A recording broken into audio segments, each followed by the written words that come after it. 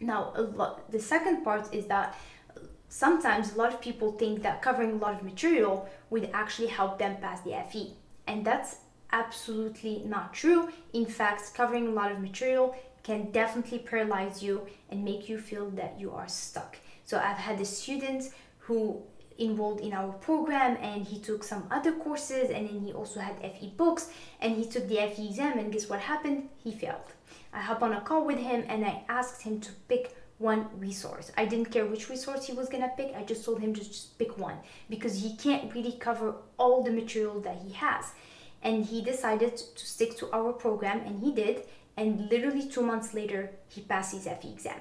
So just because you have so much material doesn't mean that you're gonna pass. Make sure you have the right material, right?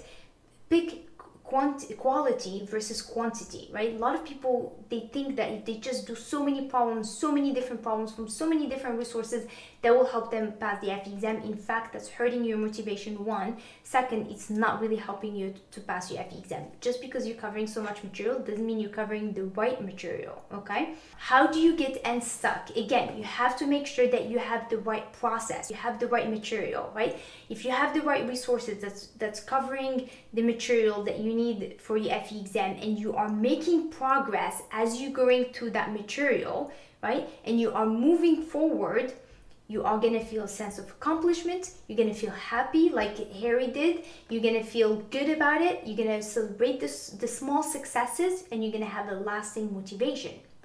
And you're gonna wanna study again and you're gonna wanna show up again okay? Now if you're using material where you always find yourself you're stuck and if you do and if you feel like you are in that position right now let me know in the chat because i know so many students who have resources that as soon as they start studying they just feel like they're stuck they're not moving forward and they feel like they started with math and then when they stuck they go to statics and then they go to mechanics of materials and then at the end of the day they just feel like they haven't accomplished anything because they constantly find themselves getting stuck. And if you are in that situation let me know in the chat. And so if what you need to do is you have to change the material. So you look at your pro- process and you have to figure out what's not working in that process what's making you stuck in that process okay for example, let's say you don't have a dedicated studying spot, figure that out. Figure out, to find a spot where it will just be for studying.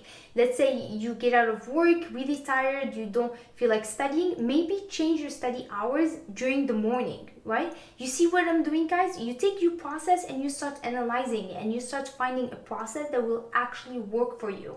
Now you look at the material. You look at the material and you ask yourself, do I get stuck each time I open this book or do I get stuck each time I watch this lecture? This is a problem.